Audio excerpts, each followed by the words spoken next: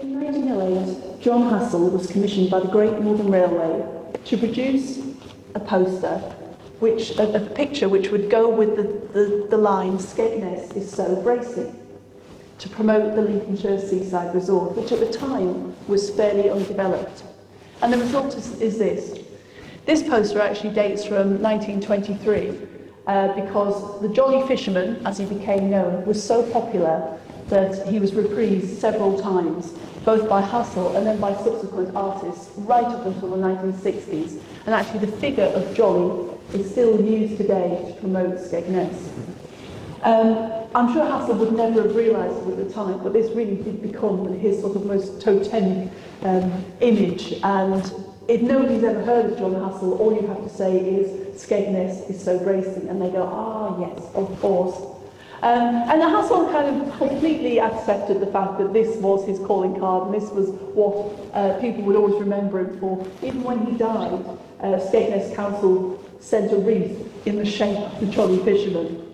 Um, but I think I should really emphasise that uh, it wasn't the first seaside poster that Hassall produced. Uh, a year before, he had done this beautiful, simple illustration for Morecambe, and then he'd also done an, um, a poster for Blackpool in year oh four. And what's really interesting about all three of these seaside posters is actually they could be anywhere.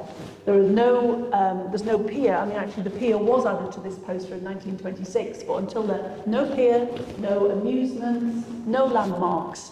It really does sum up a very sort of wholesome idea of the seaside, when sometimes these seaside resorts, particularly northern seaside resorts, were suffering from a bit of an image problem with all rowdy day trippers. Um, but Hassall kind of, you know, produced these images which somehow, despite them not being in any way indicative of the places themselves, created these very, very strong visual brands.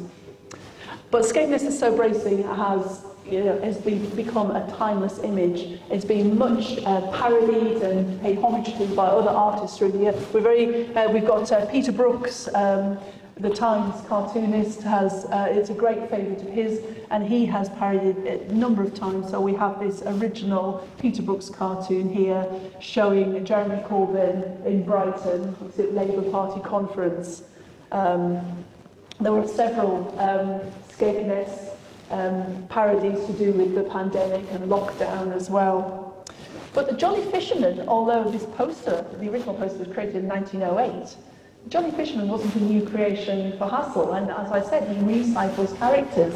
So you will find a Jolly Fisherman in a postcard here, which is earlier than this poster. Also, from the 1902 book, Round the World ABC, you got a dancing fisherman under P for Penzance.